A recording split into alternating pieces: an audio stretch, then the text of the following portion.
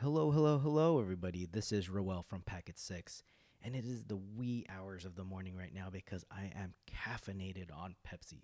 And so, because of that, I wanted to show you a neat tool on Apple OS 10 called Wi Fi Explorer, which is a wireless network scanner. It's going to scan the spectrum and see what else is roaming around on your network. And I just wanted to show you here if I click on Wi Fi Explorer and check out the About I am on version 2.0.1 as of this recording. If we go back to the main window, I wanted to show you on the left side, you've got your results, right? Um, actually, at the top here, I am using my interface zero. I'm scanning at the moment, and I am associated to a network called DNet. I'm on channel 36 and 40. My primary channel is 36. Uh, it's a it's a 40 megahertz channel bonding but what I really wanted to show you is its capabilities here on the left side. We can we can see results. We can sort um, what Wi-Fi networks we're seeing.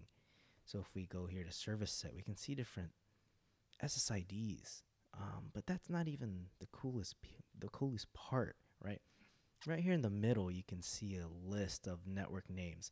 Here's mine at the top because it has the best signal. I'm using an open open mesh access point. Great APs, by the way. Um, I'm, I'm seeing a 93% signal here, and it's on 2.4 channel 11. You can see your channel with um, what mode you're running, what's the max rate, what kind of security.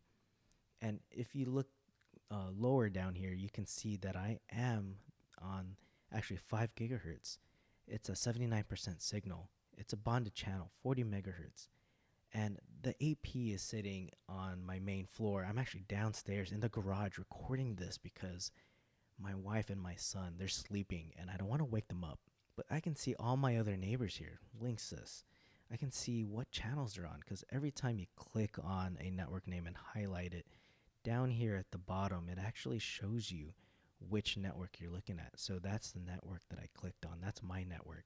I'm all alone there on the on the UNII-1 band so down here, um, I've I've clicked into the channels tab, which is there's a tab right here in the middle between the panes. I've clicked right there. I clicked started on channels because it's the coolest view to look at. You can see how crowded the 2.4 gigahertz space is. I do have an SSID on 2.4 gigahertz, but I'm hardly on it. I'm on channel 11, but so are three or four other people. You've got other people bonding 2.4 gigahertz channels.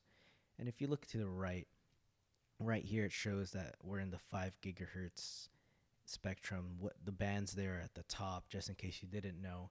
And there's not that many APs on 5 gigahertz. And the reason why I like using this tool is because you can quickly analyze what's going on on your wireless space right? I can see what channels are available who's stepping on my channel. Maybe I can optimize my wireless network a bit and just move to a channel that's not utilized. Most of the time, 2.4 gigahertz is going to be crowded, so try to move on to the 5 gigahertz spectrum. If you can, turn off your 2.4 gigahertz radios. That'll help steer clients to the 5 gigahertz band. And again, looking at the top of the um, main pane there, you can see the signal strength. You can see um, how strong your signal is wherever at the, your current location. That'll help you figure out, hey, you, maybe you've got a coverage gap, right? So now if we click down here in the network details tab, on the network that I've selected at the top, I get more details. I see my BSSID, my vendor, the beacon interval, the signal quality, just just a ton of information that's here for you to see and analyze. You can see the basic rates. I should probably turn off 6 and make 12 mandatory. But you can also click onto these other networks as well and see what what their details are. Down below, you're going to see some graphs and just over time what the signal strength is. You can see here the BSSIDs. I'm seeing some some Apple devices there, some Apple APs.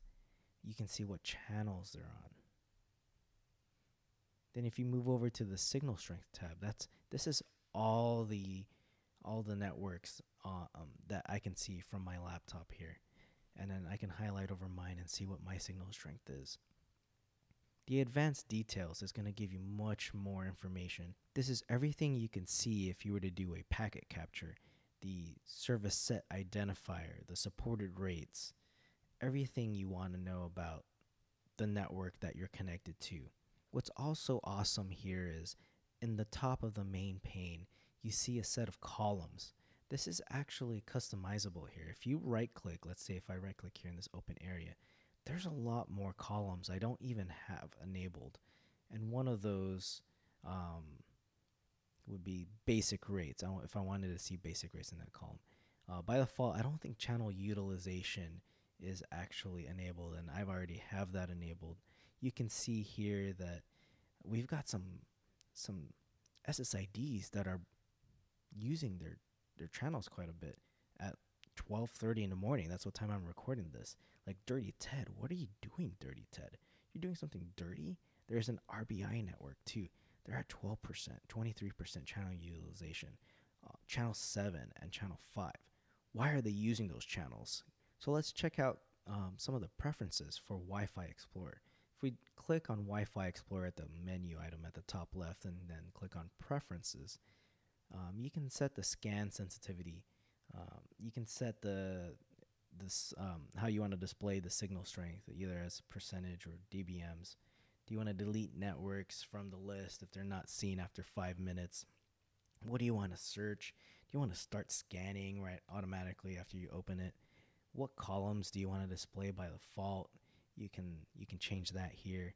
And in the advanced section, you can even hide the DFS channels if there's no networks using them. A lot of times there's going to be no networks using DFS channels. And um, another neat feature is uh, the application gets updated regularly. So automatically check for updates. And then every time I open it, there's always an update uh, for the vendor's database, and I apply that easily. This is a quick look at analyzing or scanning your wireless network just to see how you can optimize it just to see how you can troubleshoot what's going on. Maybe you're using a channel that somebody else is using and you're, you're causing co-channel interference there. Um, maybe you need to hop onto the 5 gigahertz range. It's a neat app. It's an inexpensive application. And to download it, just head over to Firefox and go to adriangranados.com slash apps slash wi-fi dash explorer and you'll see the full feature set, kind of features it has, the screenshots, and you can download it straight from the App Store. And right now, at, at the time of this recording, it is $14.99. This is a good price for a great Wi Fi scanner compared to the other ones that are out there right now. Thanks for watching the video.